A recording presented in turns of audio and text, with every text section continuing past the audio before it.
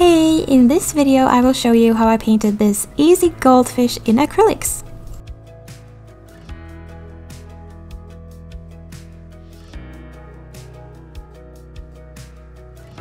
If you want to paint this, I have a link to all my reference photos and supply list in the description box below. I first drew out my fish on a piece of transparent paper, which I cut to the same size as my canvas board.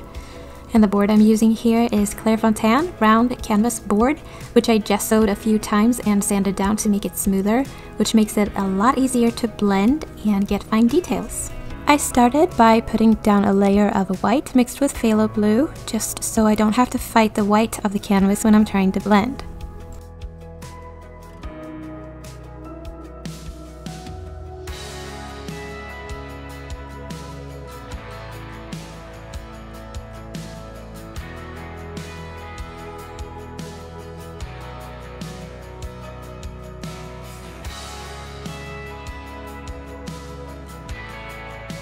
It doesn't really show on the camera, but I'm smoothing some of the streaks out with a mop brush. I'm using a makeup blush brush for that. And drying it with a hair dryer. And here's a little trick when painting round canvases. To keep them from rolling around on the easel when I'm painting, I stick a piece of double tack tape on the back and that should keep it in place.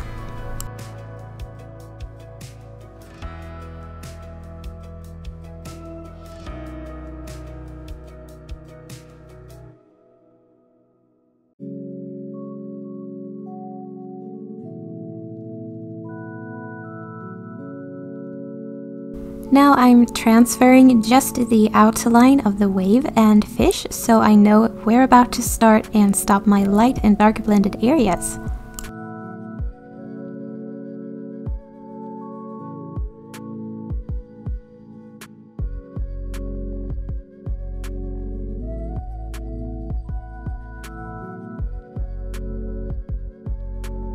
Starting with the sky, I'm putting down the light and dark colors, just using white and phthalo blue and a little black.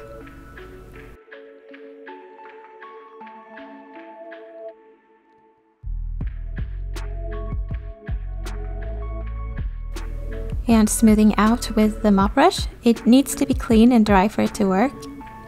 And it doesn't matter if it doesn't look good right away, I'm going to do more layers like this adding another layer. And it's important that you let it dry completely after each layer or they can lift.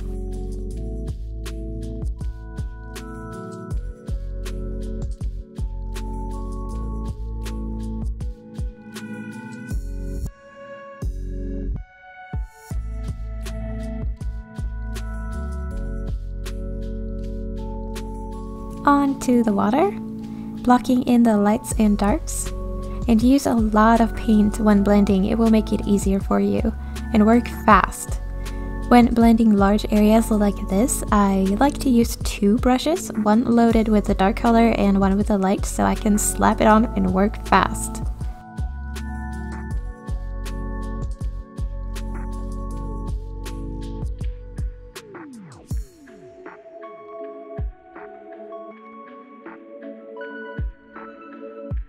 And don't worry, see how terrible that first layer looks. It's going to need a lot of layers before it will look smooth, and this is excellent for practicing your blending skills. Each layer practice, let it dry, and try again, and again, and again, until it looks how you want.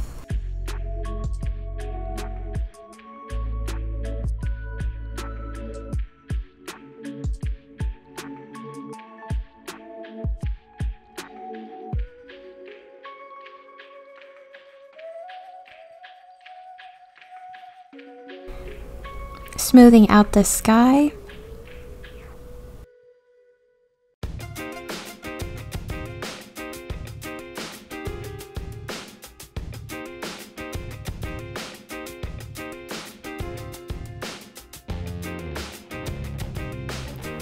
Watch this final layer, how much smoother it will get. And I wanted a little more contrast between the light and dark that's also something to watch, that you don't blend so much that you lose your definite lights and darks. And I'm also using an ultra fine mist spray bottle to help it stay wet longer.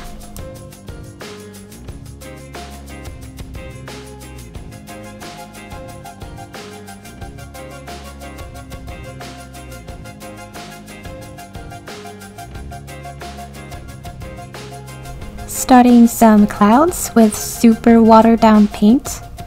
A little too much here. It takes a little practice to get the right consistency and then lightly feathering over them with the mop brush. It gives them that light, smooth, transparent look.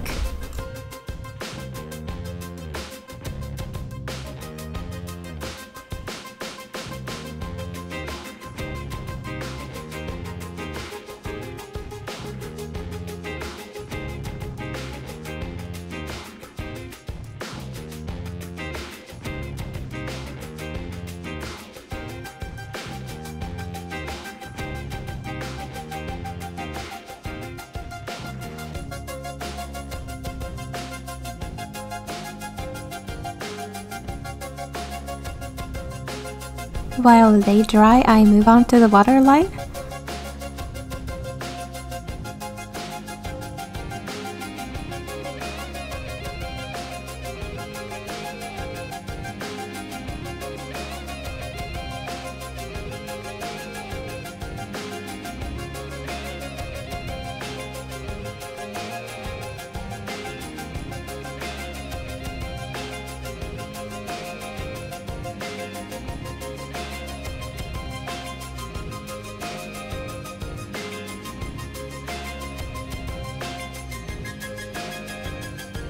Time to transfer my goldfish drawing. I'm using white transfer paper.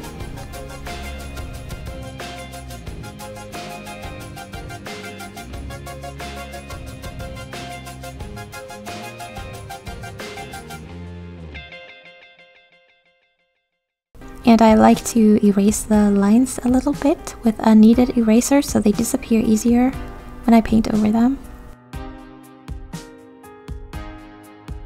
I'm blocking him in white first because reds, oranges, and yellows tend to be more transparent colors, so to get them super vibrant and pure, they need a white base.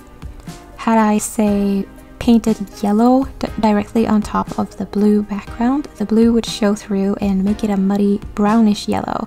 It's not cute. And while building up this white base, I let my brushstrokes work for me because remember, reds, oranges, and yellows are more transparent, so this detailing I'm doing with just white will show through underneath. Layering this way creates a really nice depth in your painting.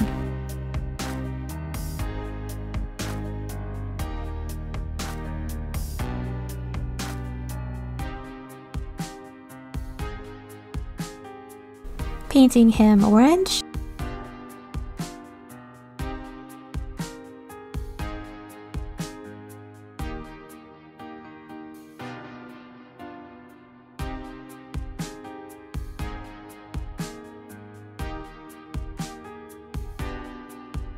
and shading with red. Don't shade orange or yellow with black. It creates a brownish, greenish color that's not cute. Instead, shade with reds and purples.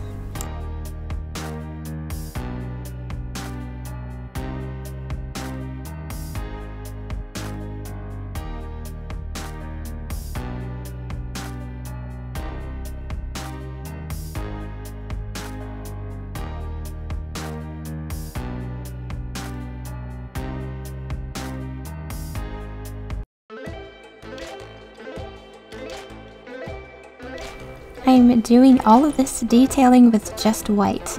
I don't care about the colors at this point, I'm only focusing on values and details. I will glaze over them with yellow later, which will give him a nice glow.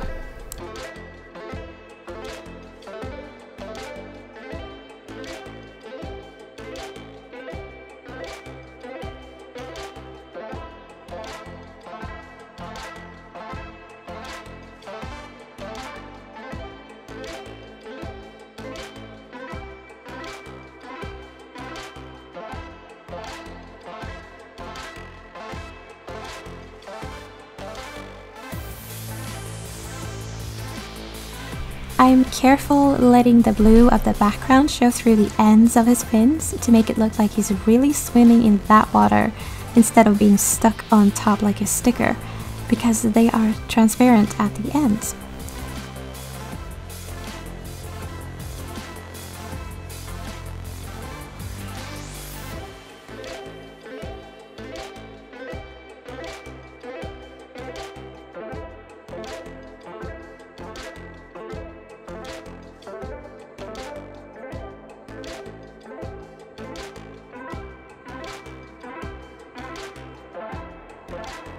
Glazing more red and magenta.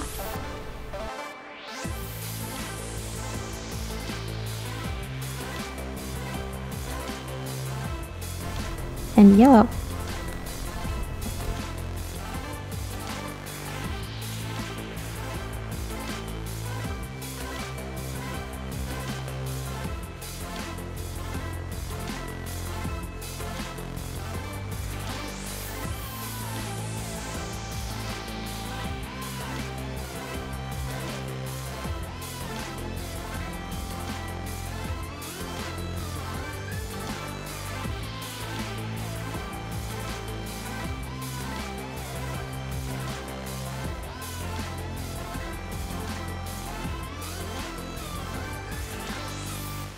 Painted some simple bubbles and added some sparkles to the water surface.